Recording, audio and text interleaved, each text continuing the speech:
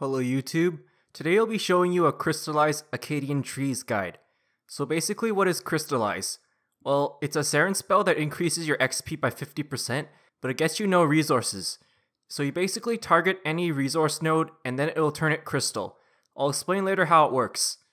So yeah, the requirement for this is you need the Light Within quest complete. And so in order to access this location, you need to complete the Jack of Spades quest, so you can access Menaphos. You also must be on Ancient Prayers and Ancient Magics. I would highly recommend you have tier 8 reputation in the Imperial District, but it's not really needed if you have a high woodcutting level, because what happens is you get a higher success rate for cutting the Acadian trees. I also suggest you complete Sliske's endgame quests, because you get this really awesome reward that gives you a set effect, and I'll explain later how it works. So Acadia trees are located in Menaphos, in the Imperial District, it's directly west of the lodestone, and it's south of the VIP area. The spot I'm using is south of the pool, because there are two Acadia trees really close nearby, just in case you accidentally deplete one of yours. So yeah, let's get into my equipment setup. I would suggest you bring a Nature Sentinel outfit, and basically this is from the recent Treasure Hunter promotion.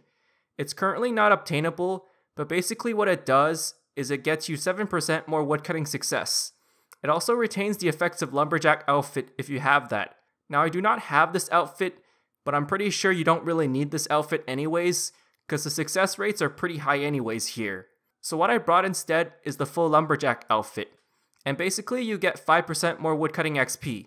It's a temple trekking reward, so yeah, it may take a few tries to get, but it's well worth getting.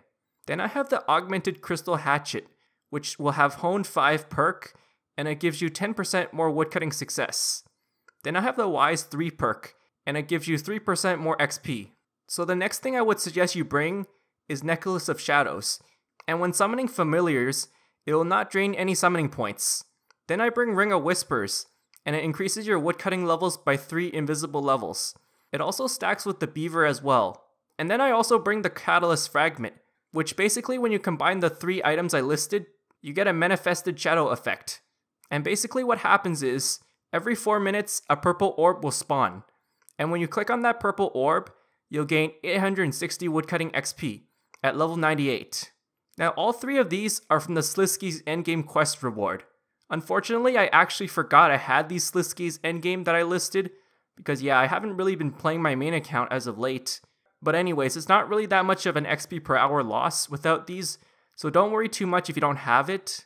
A good alternative I'm using is Falador's Shield, which there's basically prayer bonus, and there's also a daily prayer restore you can use. It really comes in handy because, yeah, Lightform does drain a lot of prayer. Now because Crystallize uses water runes, you may also use Tome of Frost as another alternative, but then again, water runes are very very cheap, so having the higher prayer bonus actually helps better than this. So the aura I have is Lumberjack Aura, and I'm using tier 1, which is basically 3% woodcutting success. You don't really need that here because yeah, I told you, these have pretty high success rates at high levels. And then finally, I would wear prayer bonus gear. Things include Dragon Rider Amulet, Armadyl Gloves, Max Cape, God Book, Ring of Death, or Elf City Quiver. So for my inventory setup, I have a large rune pouch, and basically you can buy it from the GE or get it from Bounty Hunter minigame, which is a PvP minigame. You can only store three types of runes, so I store the three of the crystallized runes, and I leave the water runes in my inventory. Then I have super prayer renewals as well as prayer potions, because yeah, like I said, light form drains a lot of prayer. I also have beaver pouches, which give you two invisible woodcutting levels. Now clan avatar is slightly better, then I also have a perfect juju woodcutting potion, and basically there's a 5% chance that you can cut two logs at once for a full XP. Each dose would last you one full hour, and Perfect Plus Potion gives you this full effect for a total of 4 hours. Unfortunately, the double logs does not actually double the reputation, but I'm not sure whether it's a bug or it's actually intentional. Then I have the Urn Enhancer, although I do not have that right now because I accidentally destroyed it, but it increases your XP from teleporting the urns by 25%, and it uses 30 charges each. And finally, I fill the rest of my inventory with decorated woodcutting urns. And for anyone who doesn't know, you can now auto-teleport the urns by going to your game settings and then toggling it. So I'm just going to explain in detail how Crystallize works. So first, you hit Crystallize from your spellbook, and then you target a nearby tree. The tree will then look crystal for 30 seconds, and every time you cut the tree, you'll get 50% more XP, but you won't get any logs. Now this can be bumped to 87.5% more XP with the Lightform Prayer. So yeah, here's my strategy. You want to crystallize a nearby tree and then chop it. Nowadays, Crystallize has a buff bar, so always watch the buff bar and immediately crystallize the tree as soon as it expires. This is because basically it decreases a chance of the tree being depleted. Because yeah, trees are fairly spread out as you can see, so you just want to avoid running as much as possible. In this video, I didn't have to run at all. In comparison to crystallized teaks, it's actually faster than crystallized teaks, and Acadian trees are nearly 100% success rate using my woodcutting buffs. Now, like I said, I did not even unlock tier 8 reputation here.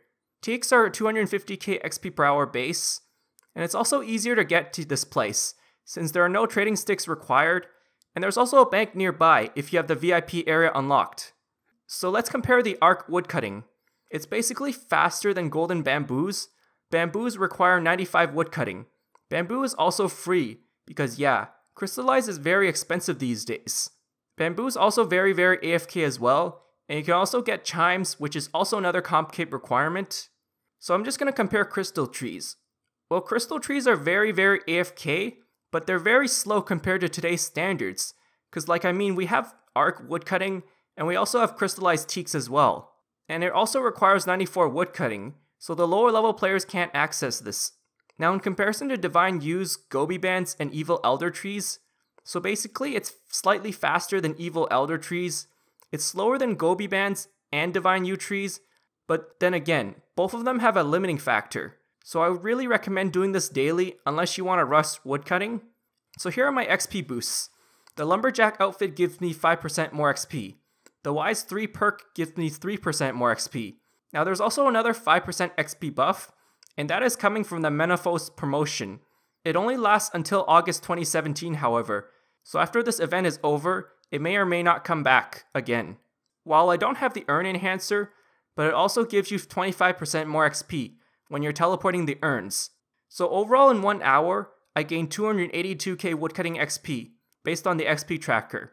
I consumed 12 woodcutting urns. Now obviously you're not going to have access to all these XP multipliers, so I'm just going to factor out the Menaphos bonus and the Wise 3 perk. This will then give me 262k woodcutting XP per hour. The reputation you get per hour is 5.7k. It also costed me 600k GP worth of crystallized runes.